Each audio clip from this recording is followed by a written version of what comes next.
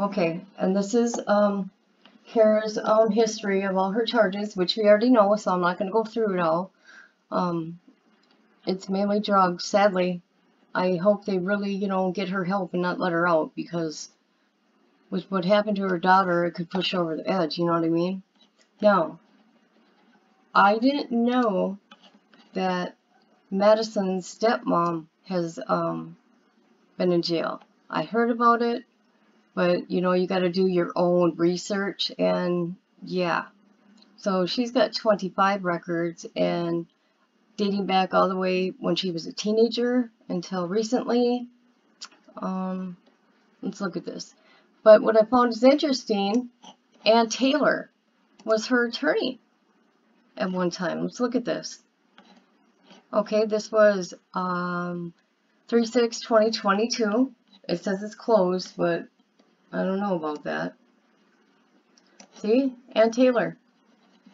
But it says she's inactive now, but she was. So, so controlled substance, possession, drug paraphernalia, and the funny thing about it is because, you know, you talk about um, Bryan Kohberger using, well, you know, here you got two different victims, you got different parents, and these two here were at the jail at the same time. They had warrants around the same time.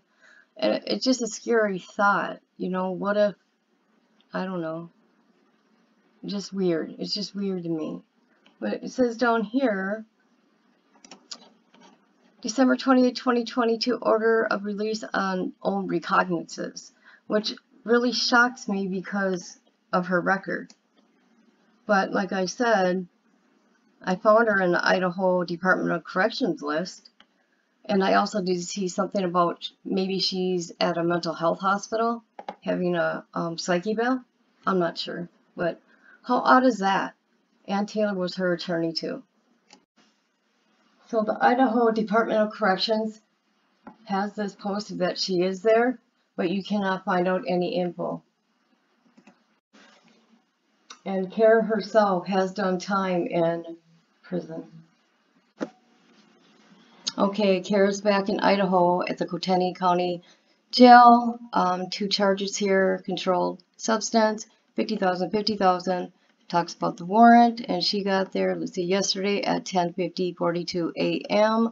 And this is the best place for her right now, people, and not going on news stations and doing interviews at your most vulnerable state. Just saying, I had to say that. This ain't nothing about hate towards her. She needs help and she was exposed for somebody's benefit. Just saying.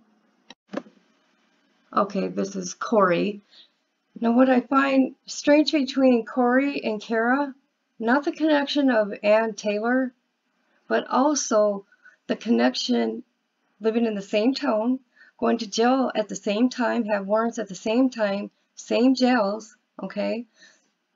And then, you know, the Bryan Kohberger, you know, them saying he used, and here these ladies have been um, charged with possession, selling drugs. I don't know, call me weird.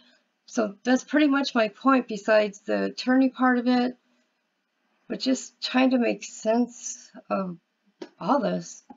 I, I, I don't know thank you